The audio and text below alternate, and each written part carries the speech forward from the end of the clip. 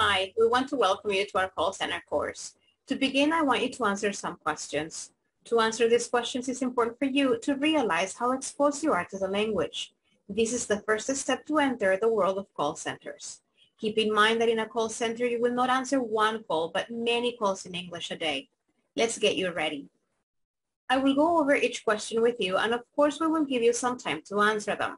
It's important to share your answers with your instructor and or classmate. Number one, how often do you make phone calls in English? Number two, when was the last time you made or received a phone call in English? How was it? Number three, who do you normally speak English to on the phone? Are they native speakers or non-native speakers of English?